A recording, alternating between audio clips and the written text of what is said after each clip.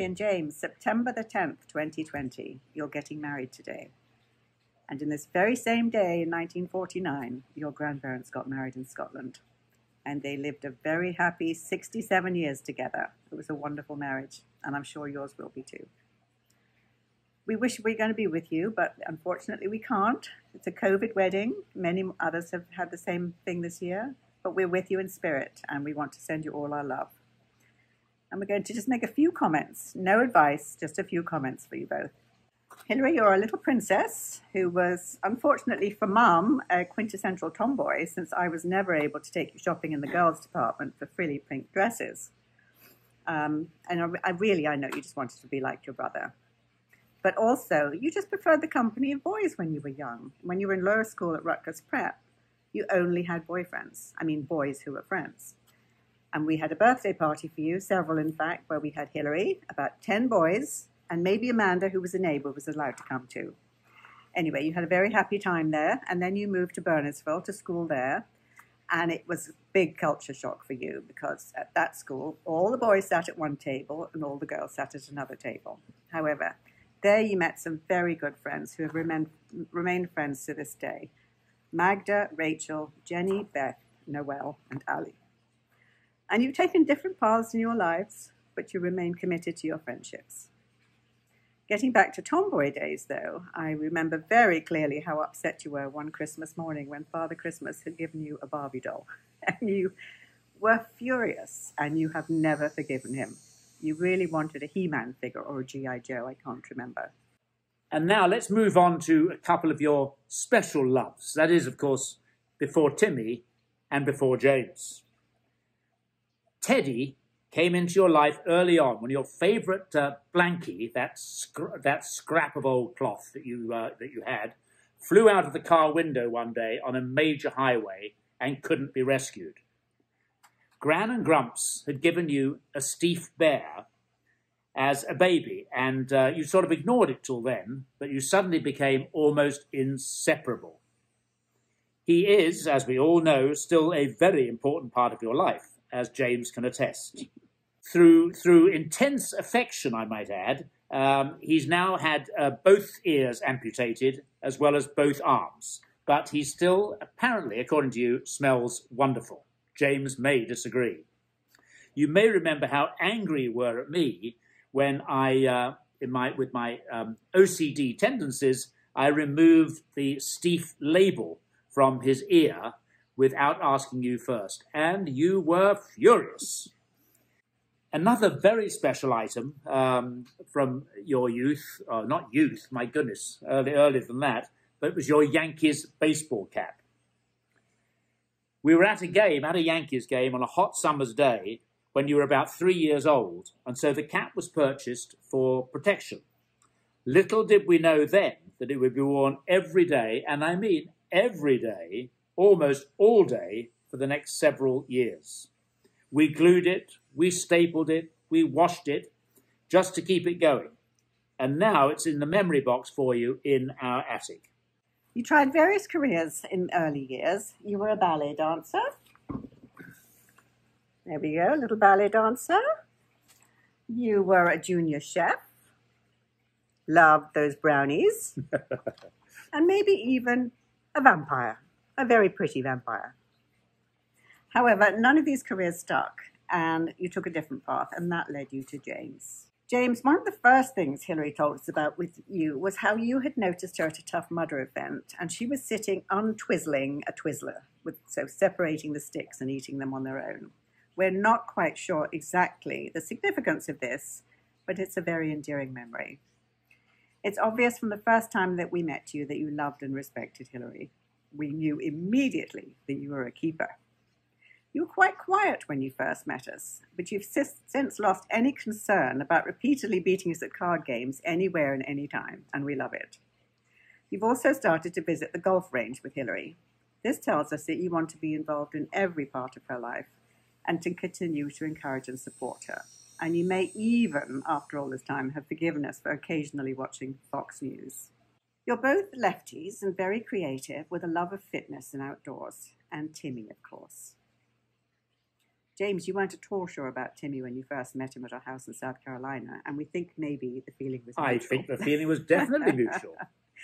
However, you opened your heart to him, and he's now become an integral part of your family. He lives an incredibly charmed life with the two of you. There aren't many dogs that have their own backpack to go on long hikes and bicycle rides with their owner. He really is a lucky boy. He also, I believe, has a choice of about four beds. Is that right? There's several beds, and I think he has his own hamburgers made for him too. Stephen the White Bear is another character who features prominently in your lives. There are two, Ste- there are two Stevie Christmas ornaments that Hilary uh, created for us. There they are. Uh, and of course, we can't forget Willie Rabbit. But unfortunately, uh, we don't have any photo of Willie uh, to show for this show and tell. Um, I always loved her. As you've probably learnt, James, occasionally she'll come up with a little surprise for you. Um, and I always used to love Father's Day. Uh, every every Father's Day, um, she'd come up with a little uh, thing she'd made. Um, I remember the uh, the cage upstairs with the parrot in it, or the or the yes, canary. yes. Remember? Uh, there was also this master's box here, cigar box, um, cigar inside, um, as well as I think, yes, a magazine here, uh, Golf Monthly with my name in it, specially made by Hilary. Also, another Father's Day was the mailbox with a basket of flowers made by Hilary. And in the mailbox, there was an envelope addressed to Mr. Dad, with very kindly inside, very thoughtful of her, she had, writ- she had written out a check. Let me see, a check addressed, made out to me. Where are we? For a hundred thousand dollars. Very kind of you, Hills. But even more importantly, you gave me, my goodness, where's it gone? I mustn't lose it. You gave to Dad worth one chaw. I might be calling that in one day soon. I know that Hilary still loves to create wonderful surprises for you too, James, and you do also for Hilary. We're not going to give you any marriage advice. We just encourage you to continue in the way you've already started, loving and nurturing each other daily. We're very grateful, actually, for Tough Mudder for bringing you together and for also giving the opportunity to meet your very special friends. We're so happy that you're all together to, to celebrate this special day and the beginning or continuation, I should say, of a wonderful life and adventure together. Congratulations. We love you. Love you both.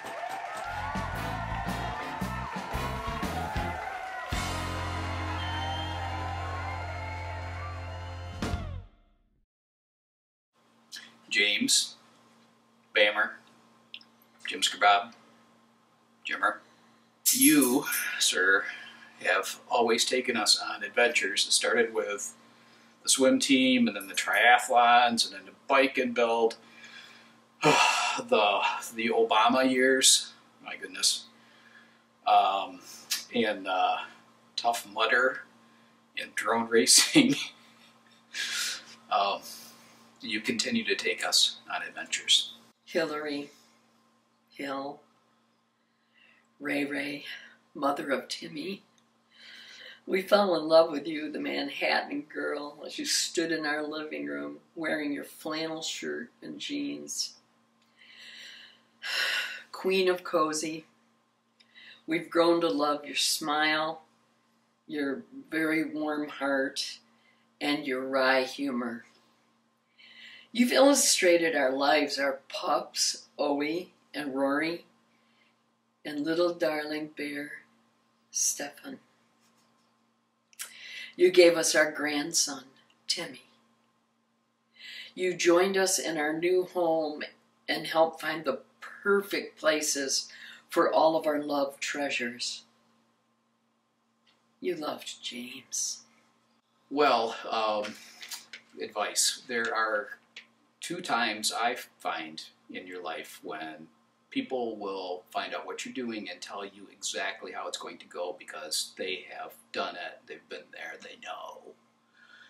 And that's all bullshit. Jen, edit that out. but here's our, our BS for you. We have been married for 35 years. So we know nothing about what you're about to go through. we started off with a very basic but important prenuptial agreement, which was if either of us felt like they just had to leave the relationship and ask for a divorce, they were also obligated to take the children with them. I had something different for our list. Uh, we grew up in a time when uh, spouses very typically bashed each other when talking to someone of their own sex. So the husbands get together and bash the wives, and the wives get together and complain about the husbands. And we made a vow not to do that, not to bash each other. And uh, that is something that has served us well. Oh, over the years, you're going to grow, you're going to change, but that also gives you the opportunity to rediscover the person that you're married to over and over again and fully appreciate them and who they are becoming. The last thing that we wanted to share about our life is that we placed respect and trust with each other before anyone else. So, as an illustration of this, I'd like to share that when we were a young couple, we left notes for each other every day. A note in the morning, a note at night, a night, a note hidden here and there, and we ended nearly every note with the same words: "Love you, love you. Place no one else above you." And we're so thankful that uh, so many that friends are there and able to celebrate an occasion which to us is so huge and important. Um, we appreciate it, and we we really really wish we could be there. Oh yeah. And we're we just want to apologize in advance to all your friends for the workout well, that James will require of all of you. You know what's coming. This, Hilary and James, is what we think your story is. We think that your story is about caring. The way that you two care for and treat each other uh, spills out into everyone and everything around you. It changes the tone, it changes our hearts. And that is something that we cherish, and we think that there's really not a better thing to base marriage on um, Hilary, I know I've told you this when when I visited you guys for the first time in Brooklyn and would be there while you're going through your morning routine. Just the sound of the way you two work together, the way you speak to each other. It was a beautiful, harmonious sound, and I love hearing it, and I love it every time I'm around the two of you. Creating a home is something the two of you have always done. Wherever you go. Everywhere, be it in Brooklyn or Denver, or Seattle, uh, Michigan, Scotland, Me- Mexico, right, the grocery store, anywhere, anywhere you, you go, go yeah. you create that sense of home about you and make everyone feel at home. As you two move into the future, you are going to take that sense of home with you wherever you go, and that love and happiness are going to find you. They're going to follow you into that home.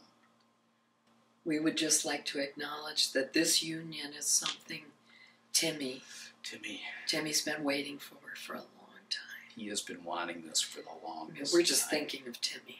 The rest of us, eh, you know, we're not important.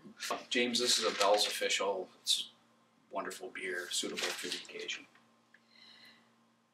Here's to the happiest occasion I can imagine and drinking in the morning. To James and Hilary, we love you.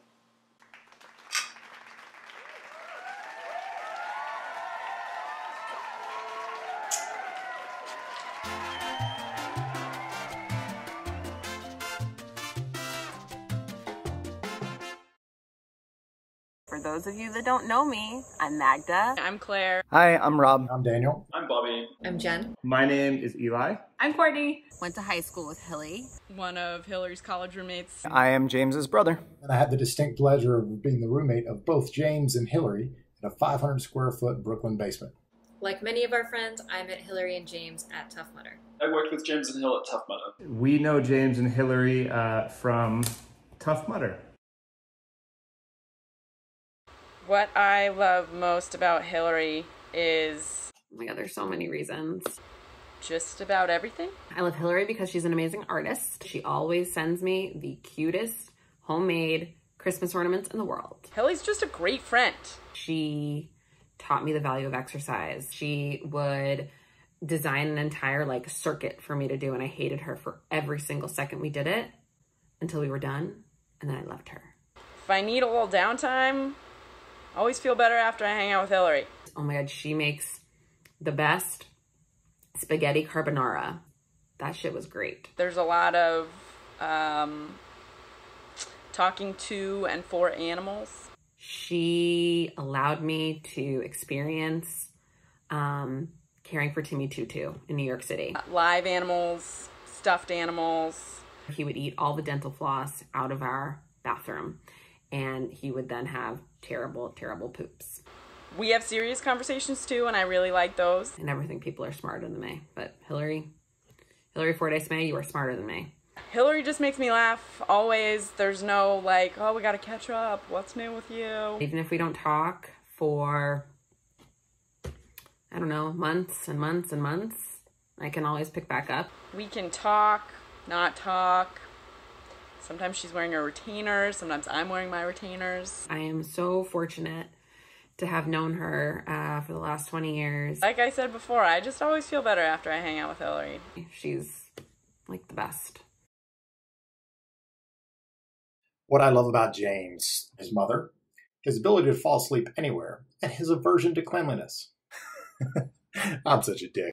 One thing that I really love about James is that he takes time to listen to you, and you can tell that he's thinking about things from your point of view. The things that I truly do appreciate about James are his willingness to be himself, You can count on him as an honest mirror. whether we're drinking black and tans and talking deep thoughts at Smith's, He's very good at empathizing.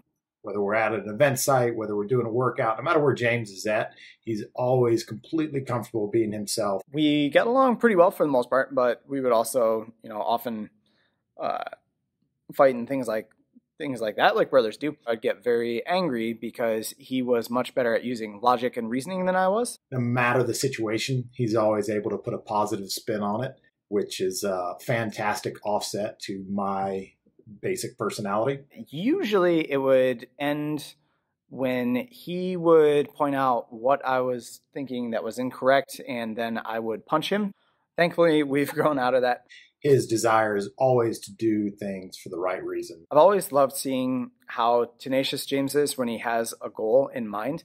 not just to make a ton of money, not just to be some cool person. Even when we were in high school, he just decided that he wanted to join the swim team. I would join in for the team dinners, and I saw how close he and his and his friends were in there, and I thought it was just a really cool experience, and I felt like I needed to join. So James took it on himself to help me learn how to swim that summer and how to breathe while you're swimming, which turns out is pretty important. It was really neat to be able to share that experience together. He wants to do it for the right reasons because A, it makes people better or it makes the world better. As goofy and idealistic as that sounds, I truly appreciate that about him. you know that when you're somewhere around him, uh, you're going to be comfortable. You're going to be taken care of. You've got somebody who can listen to you no matter what's going on. No matter what he's doing, his heart is in the right place when he's doing it.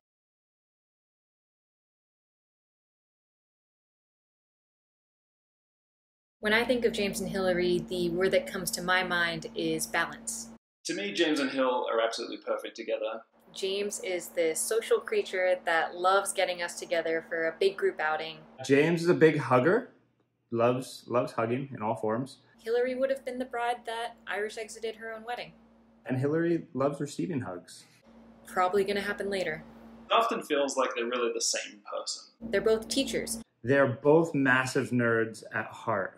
From their shared interest in outdoor activities, hiking, biking, beers in the sun, sometimes all at the same time. James taught me that in American Sign Language, this means jellyfish, and this means something very different. Hilary taught me her signature dance move.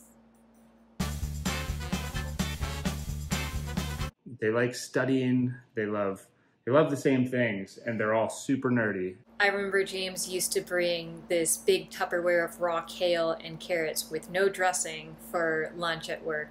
Absolute bottomless pits of stomach. Like they can just eat volumes of snacks that are immeasurable. Recently, Hilary asked me why they bother to put serving sizes on pints of ice cream because they are clearly meant for one sitting. They're a bit fanatical about working out, and they love doing it together. They need for some kind of daily exercise, and uh, good luck to anyone that gets in their way. Kudos. It's probably keeping the snack bodies at bay. Speaking of snack bodies, They're enduring love and care uh, for their little fur baby Timmy, and making sure he gets the right amount of both food and cuddles every single day. they love that creature more than anything in the universe. When it comes down to it, they are two of the most thoughtful and caring people that I know. They look to make a difference through their actions uh, in every single thing that they do, regardless of how large or small the task. And it's obvious that when you are with them, there is a love and connection between them. They make a great team. James and Hill already are life partners, uh, sharing joys together, and that brings a big smile to my face. Overall, they are just the most loyal and caring and thoughtful friends, and that's what they are at their core. Like they are each other's best friend. and ultimately, the desire to cap off each and every day with a nice nip of tequila and a prompt 8 p.m. bedtime. And as happy as I am to have met them at Tough Mudder, I am so happy that they were able to meet each other. We love you. Um, we can't wait to visit you soon. I wish I could be there. I love you so much. Congrats. Best of luck to both of you. Congrats, James and Hilary. Love you guys both, and I'm really looking forward to seeing you as soon as we get to. I wish you all the love and happiness in the world. And now I can say that if your marriage is anything like that of your parents, you have a very long, happy road ahead of you.